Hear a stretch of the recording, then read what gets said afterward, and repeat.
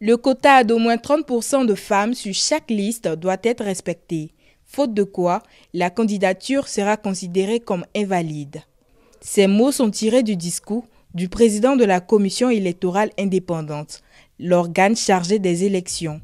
Cette décision est inspirée de la loi numéro 2019-870 du 14 octobre 2019 qui favorise la représentation des femmes dans les assemblées élues.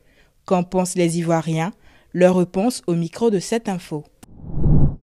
Bon, moi je dirais que cette idée, elle est bienvenue, mais en même temps, elle n'est pas bienvenue. c'est une bonne idée. À partir du moment où on parle d'égalité de sexe, il n'y a, pas de, a pas de problème à cela. Ce n'est pas mauvais, puisqu'on voit que dans toutes les domaines, les femmes participent maintenant. Donc, euh, si la CI demande ça, ce n'est pas mauvais. C'est une bonne chose. Là, comme ça, il y a égalité.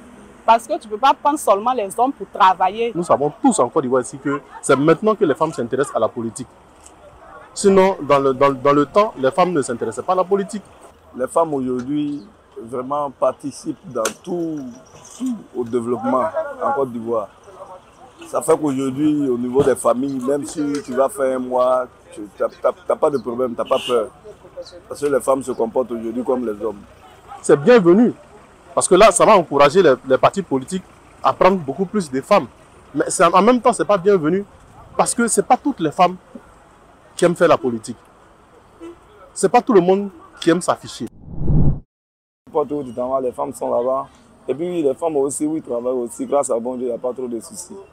Donc euh, c'est pour ça que moi, en tout cas ici pour ça, oui, oui. le choix de choisir qui, avec qui je vais travailler. Mais on ne peut pas m'imposer. Bon, tu vous m'imposez un quota de 30%. Bon, je prends les 30% et il se trouve qu'elles ne sont pas compétentes. Je fais quoi?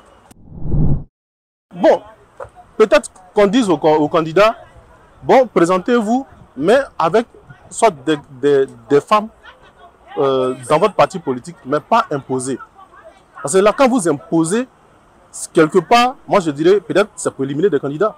Parce que si moi je n'ai pas atteint le quota de, 30%, alors que je veux bien faire la politique, alors que je suis connu, je suis soutenu, ma population me soutient, on me pousse à poser ma candidature, mais je n'ai pas atteint le quota, je fais comment?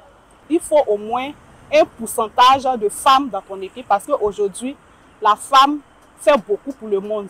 Sans la femme, je pense que beaucoup de choses allaient se passer. Mais 30% des femmes, c'est pas mauvais, c'est ce qui est normal. Voilà, parce que les femmes aussi apportent beaucoup dans la société.